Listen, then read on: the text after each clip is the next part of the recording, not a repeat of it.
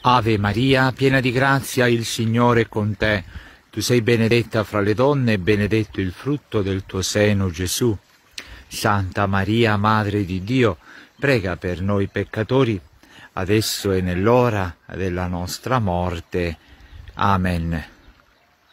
Bentrovati cari fratelli e, e sorelle, oggi è la quinta domenica del tempo ordinario, anno B eh, il Vangelo di oggi ci presenta ancora un brano del Vangelo eh, di Marco, in cui c'è un'epifania di grazia immensa eh, Gesù, eh, con cui Gesù inonda ecco, tante persone. La prima persona che eh, riceve questa grazia è la suocera di Pietro che viene guarita dalla febbre ed era bloccata a letto. Gesù la prende per mano, la solleva e poi eh, viene guarita ecco, da Gesù, perché da Gesù viene fuori una forza, una grazia che, eh, che guarisce tutti. E poi la società di Pietro si mette anche a servirli.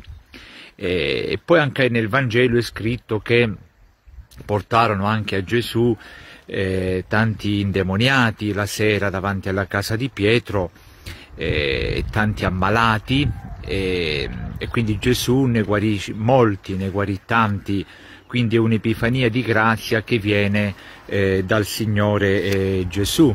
E quindi in questo giorno, questo giorno possiamo dire anche un giorno di guarigione, un giorno di salvezza, che è domenica anche un giorno di liberazione, diciamo eh, una preghiera, eh, cioè diciamo risanaci Signore, risanaci Signore, tu che sei il Dio della vita tu che sei il Dio della salvezza, eh, tu che sei la nostra pace, tu che puoi tutto, tu che sei onnipotente, tu che sei il Signore, tu che sei l'Altissimo, ecco potremmo anche ripetere eh, quell'inno eh, che a Dio che face il cantico di, di, San Francesco d'Assisi, quindi risanaci Signore Dio della vita, tu sei il Dio della vita, eh, e dove c'è Gesù, ecco, la vita rinasce, la vita risorge. L'uomo, eh, l'uomo invece, ecco, alcune volte agisce in maniera contraria alla vita, si fa del male a se stesso, fa del male all'altro, però ecco Gesù Gesù con la sua potenza eh, risistema le cose, Gesù ci risana, eh, ad esempio Gesù risana i cuori affranti, eh, dice il Salmo di oggi, Gesù fascia le loro ferite, e, ehm, e, e, quindi grande il Signore. Oggi dobbiamo cantare in questa domenica del tempo ordinario alla potenza di grazia del Signore, però in questa, ecco, in questa domenica c'è un accento anche molto forte alla dimensione quindi della sofferenza dell'uomo, eh, perché nella prima lettura c'è Giobbe, l'esperienza di Giobbe che veramente eh, è un'esperienza forte di sofferenza, che lui però accetta e vive anche con molta pazienza. E quindi ecco un invito anche a, a vivere anche la nostra sofferenza, le nostre croci. Sapete che in questa vita terrena eh, ognuno ha una croce, non esiste una persona che non ha una croce, non esiste una persona che non ha una sofferenza, ma anche per questo Gesù è salito sulla croce.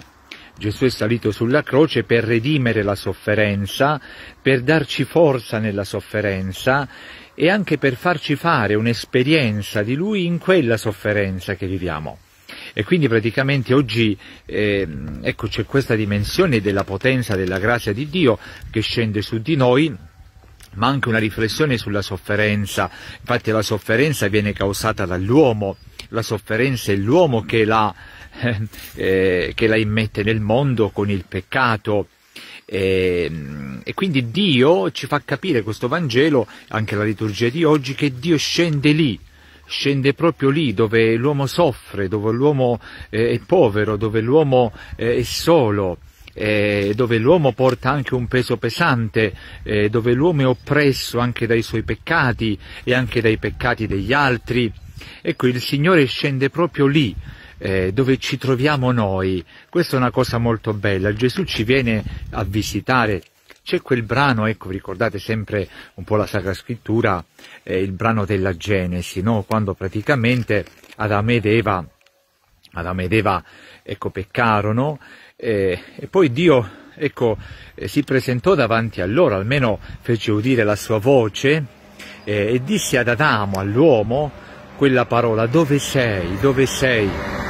Questa parola dove sei significa che Dio si preoccupa di Adamo che si è allontanato da lui e sta male. E quindi Dio dice dove sei, dove ti trovi. E poi ecco il Signore annuncia poi il protovangelo con la nascita ecco, del Salvatore. Quindi oggi è come se il Signore anche dicesse a ciascuno di noi dove sei, dove ti trovi, quali sofferenze vivi, eh, qual è lo stato della tua anima, come stai. Ecco Dio che ci dice come stai, ti voglio aiutare, ti tendo, ti tendo la mano. E infatti nel, nel Vangelo di oggi appunto Gesù tende la mano alla suocera di Pietro, la prende per mano e la risolleva. Un po' vedete, quindi Gesù ci viene a trovare nella situazione spirituale in cui ci troviamo eh, e quindi ci chiediamo com'è lo stato della nostra anima, lo stato della nostra vita. Lasciamo entrare Gesù nella nostra vita e, e poi Lui eh, ci aiuterà a guarire dalle ferite, ci aiuterà ad affrontare con pazienza ci potrà anche guarire, questo secondo la sua santa volontà. E, e quindi ecco, affidiamoci alla grazia di Dio e facciamo entrare la grazia di Dio nella situazione concreta in cui viviamo, perché la grazia di Dio, lo dicevamo all'inizio, è veramente immensa. Nella seconda lettura poi c'è San Paolo, l'esperienza di San Paolo. Eh, San Paolo viene guarito perché lui era persecutore dei cristiani e, e poi e dopo ecco, quell'esperienza in cui eh, il, Signore, um, il, Signore, gli fece udire la sua voce, Saulo perché mi perseguiti, poi lì cambiò totalmente vita e poi, eh, e poi eh, San Paolo comprese la bellezza di Gesù eh, e poi si mise poi a, a, disposizione di Gesù. Infatti nella seconda lettura di oggi vediamo eh, come San Paolo dice io mi sono fatto servo di tutti, dice San Paolo, servo di tutti. Quindi era contrario a Gesù Cristo, eh, opprimeva Gesù Cristo, opprimeva la Chiesa prima, eh, cambiò totalmente vita facendosi servo di tutti. E poi dice mi sono fatto debole con i deboli, per guadagnare i deboli, mi sono fatto tutto per tutti, per salvare a ogni costo qualcuno. Tutto io faccio per il eh, Vangelo. Allora un po', la, eh, un po dobbiamo chiedere un po' questa guarigione no? Del cuore e della vita al Signore. Eh, cioè lui ci viene a visitare, Signore, per guarirci e perché la nostra vita diventi bella nel servizio degli altri. Perché in effetti eh, più noi ci doniamo agli altri e più siamo felici, più pensiamo a noi stessi e più saremo eh, infelici quindi la guarigione dall'egoismo, eh, la guarigione da noi stessi. Eh, Gesù è venuto perché noi abbiamo la vita, l'abbiamo in abbondanza, eh, però anche Gesù è venuto perché anche noi trasmettiamo vita. Quindi ognuno di noi, vedete, ha delle potenzialità grandissime, ognuno di noi con Gesù può essere guarito, può essere liberato, consolato e con Gesù poi può guarire, consolare e liberare tanti, tanti fratelli. Questa esperienza un po' della, della vita che Gesù ci dona in abbondanza e della gioia che ci dona a tutti.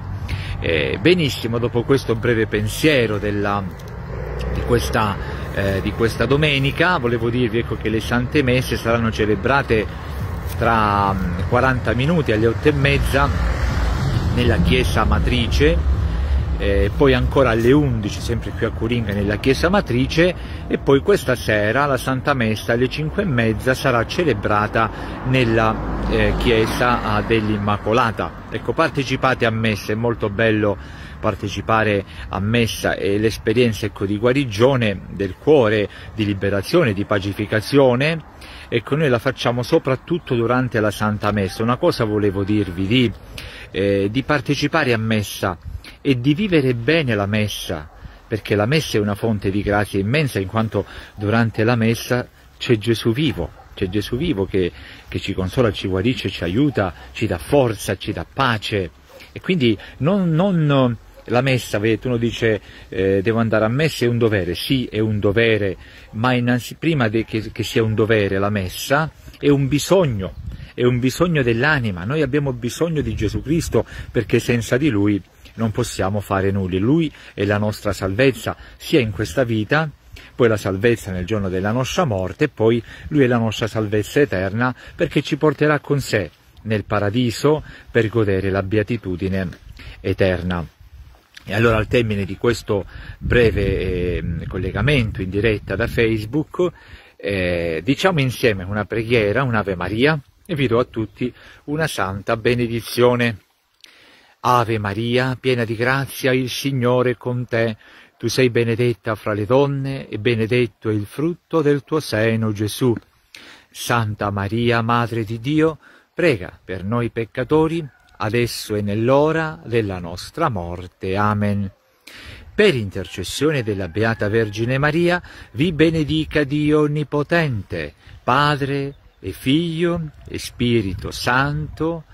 Amen. Sia lodato Gesù Cristo, sempre sia lodato.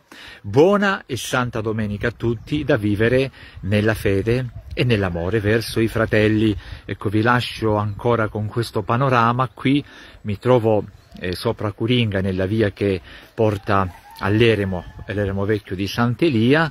Eh, si vede anche tutto il paese di Curinga da qui e poi si vede in fondo anche la chiesa matrice. Ecco, faccio un piccolo zoom ecco la chiesa matrice, ecco è tutto il paese di, eh, di Curinga, qui abbiamo veramente a Curinga dei posti eh, bellissimi.